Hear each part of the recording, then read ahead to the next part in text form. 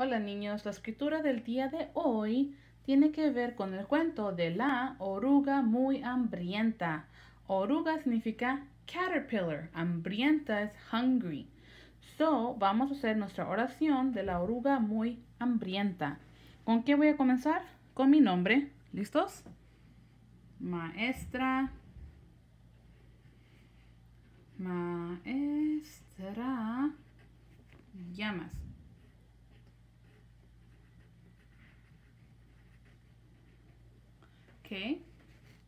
Y la fecha es el 6 de mayo, mayo es el número 5 del 2020. 6 de mayo del 2020. Vamos a comenzar. Ahora, la oruga tenía mucha qué? Hambre. ¿Ok? Sol a. La es como the. La oruga o Ruga. ¿Cómo escribo ga? Gorila, gorila, g, g, g. Es la G. Oruga.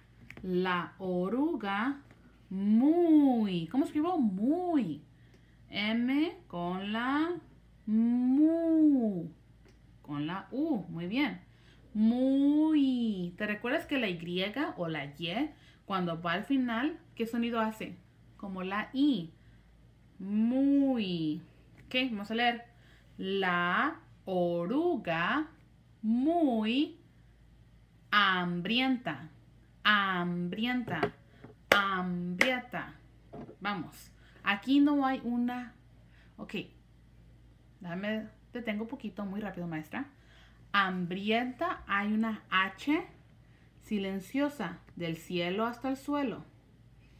Así. A H con la A, am, M, am, bri, b, b, y la R, ambri, en, nido, nido, n, n, n, ambri, hambrienta, hambrienta, hambrienta. La oruga hambrienta, ¿qué? Se, ese con la E, se, se hizo una qué? Se convirtió, convirtió, convirtió means when it, it changes. Se convirtió, convirtió, convirtió convirtió en, en era una palabra azul, se convirtió en una, pueden ver ahí todavía, sí, una, una qué, ¿qué se convirtió? Dice, la oruga muy hambrienta se convirtió en una qué? Mariposa. ¿Qué? Mariposa. ¿Cuántas sílabas? Cuatro, ¿Qué es la primera sílaba. Ma, segunda, ri, tercera, po, cuarta, sa. Vamos. ¿Cómo escribo ma? M con la A. ¿Cómo escribo ri? R con la I. Ma, ri, po, sa. S con la A. Mariposa. ¿Qué? Vamos a leer. ¿Qué va al final? Punto final. ¿Qué? A leer. La oruga muy hambrienta, hambrienta, se convirtió en una mariposa. Ahora escuchen niños más rápido. La oruga muy hambrienta se convirtió en una mariposa. ¿Qué hizo? Yo necesito dibujar aquí a dos personajes, a la oruga muy hambrienta y a la mariposa. Recuerda, aquí voy a poner a la oruga muy hambrienta. Tenía muchos segmentos en su cuerpo, es una oruga. Acuérdate que al final ya estaba muy grande la oruga, ¿verdad? Sí. Voy a poner aquí sus patitas. La oruga era de color? Verde.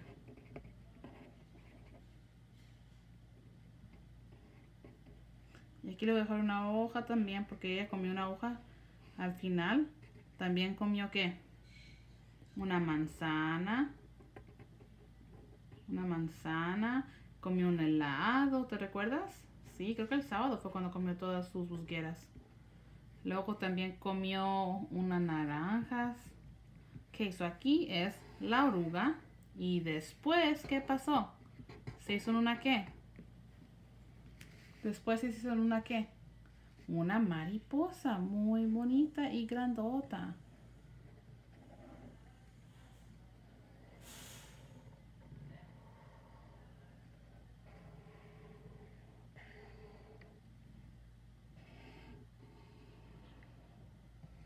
Yo le voy a poner muchos colores, ¿ok? Y puedes ponerle diferentes diseños porque te recuerdas, había amarillo, había morado, había anaranjado, rojo, tenía todos tipos de colores, como un arco iris. También tenía como unos circulitos.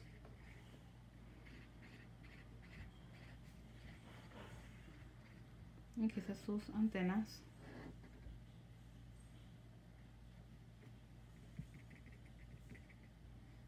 Ok, aquí está la mariposa. Ok, vamos a leer lo que dice. ¿Listos? Esta es oruga mariposa.